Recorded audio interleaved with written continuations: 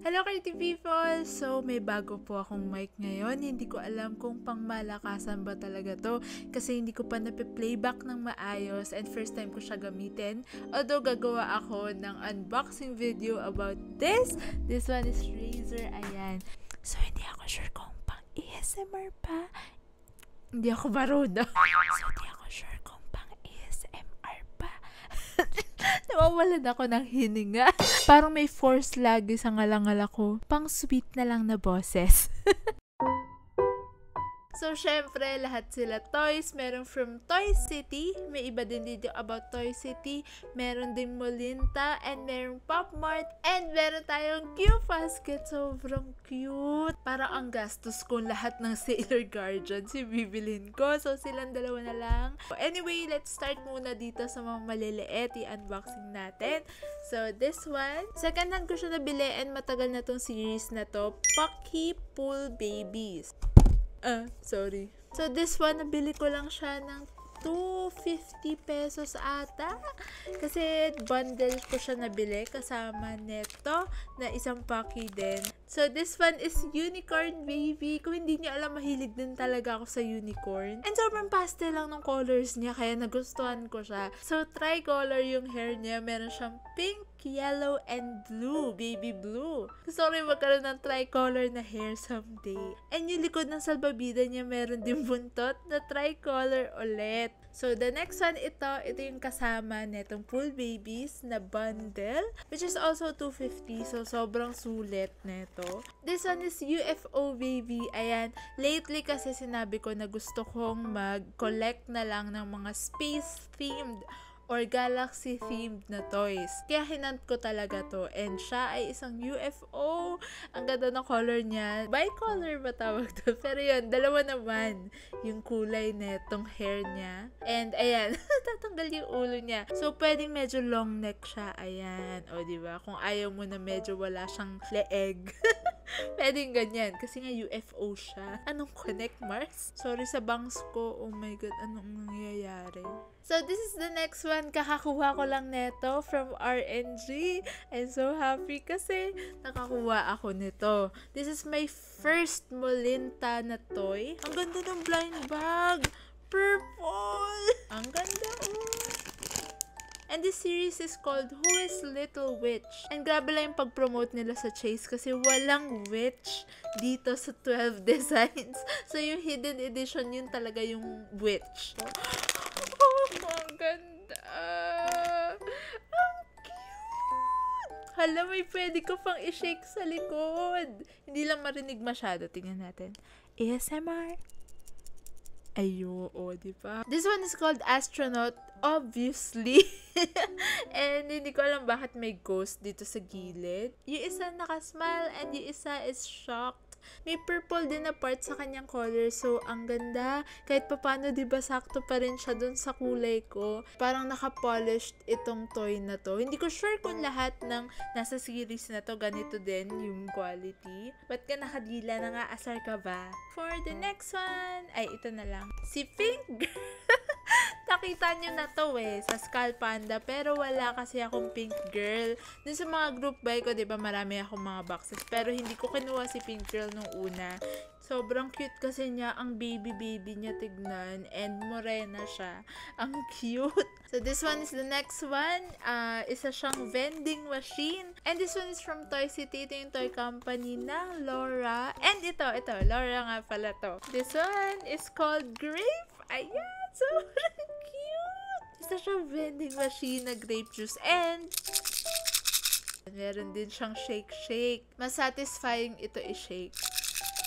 Ang ganda. May gradient siya na purple and pink. So, on to our next one. This is also my first Yoki toy ng Pop Mart. So, sobrang excited ko. Nabuksan din to. And Galaxy themed din siya. As what I've said earlier, di ba, na puro Galaxy themed na lang yung aking i-collect. Kaso nga lang, lately, puro yung mga nilalabas ng Pop Mart and other toy companies, puro Galaxy theme. Gusto niyo ba akong maubusan ng savings? Ala, ang ganda na to sa likod niya. Ang ganda naman nito. Oh, natutulog siya. Ang cute. And ayusin natin siya. Ayan, nasa likod nga niya. Parang siyang lumulutang. Ang ganda. Ang majestic niya tignan sobra. Oh my God. And this one is our last one. This is from Sweet Bean na series ng Ghosts. And second hand ko din to nabili. Ang ganda niya kasi isa din to sa in demand. Yung Skeleton Gentleman. Ayan, ang ganda. Hindi ko sure kung alam niyo na mahilig ako sa skeleton, pero mahilig din ako sa black. Ayan, suot ko. mahilig ako sa skeleton and sa black. Ang cute, kaso nga lang nawawala yung kanyang accessory. So, tapos na po tayo sa ating mga mini vinyls and let's start naman dito sa mga Q basket. This one is Sailor Mars. Isa siya sa mga original na characters ng Sailor Moon. So, hindi kasi ako ma-Q basket. Ito yung actually una kong ikikeep talaga na Q basket. So, parang may batch sila ng release and yung kasabay ng release ng Sailor Mars na to is si Sailor Jupiter, Mercury, and Venus. So, let's open na. God! Sobrang liit lang din pala nila na dun sa box. Oh my God. Ang sarap hawakan. Para siyang clay na matigas. So yun nga, hindi pa naman ako collector talaga ng Q basket. And napansin ko, parang may dalawang, ay ito, may dalawang figures. Yung isa, parang vibrant. And yung isa, hindi masyado. So, hindi ko masyado gets bakit. Pero, for collector's item siguro, Ayan, posable yung kanyang ulo. pwedeng nakaganyan, nakaganto. Pwedeng baliktad, di ba? Kasi Sailor Guardian naman siya. She can do anything. Ayan, ang ganda-ganda niya. So, si Sailor Mars wala siyang weapon. Pero ito, si Sailor Saturn meron. So, excited din ako na i-open to. Ito na po ang pieces ni Sailor Saturn. Ipagsama-sama na natin sila. Ang ganda-ganda niya. Yes! Yes, queen! Sorry, wala akong masyadong masabi. And ito pala, hindi ako sure. Pero parang ito ata yung hindi masyadong vibrant na version. Compared mo kay Sailor Mars, feeling ko yung sa kanya yung vibrant version. Eh. So, ayan. So, dito na tayo sa last one. I'm so happy din dito. Medyo matagal na nung dumating sa akin to, pero yun, gusto ko nga isabay sa kanilang lahat. Ganda rin ng box, no? Ayan o, holographic. Hindi ko alam kung focused pa ba. Pero ayan, holographic siya. Let's see what's inside. Ayan! Ayan siya. So, this is Laura Star-Eyed Girl Disc Jockey. Ang ganda ng card. Sobrang laki. And para siyang pang magazine cover. ba diba? Ang cool. And meron din maliit na card. Pero ang ganda ng quality niya. Para siyang ATM card. Or yung mga sinaswipe-swipe mo. Ayun ang kapal. Ang ganda. Ang laki niya. Siya yung pinakamalaki sa kanila lahat. And ayan, meron din siyang stand na malaki. Sobrang vibrant ng colors niya. Meron siyang pink, orange, green, yellow, black, blue-green. Sobrang stylish niya. And matchy-matchy yung color ng kanyang headphones, crop top, and yung kanyang shoes. Dahil sila glittery finish, nagsashine din siya sa light, nagre-reflect siya.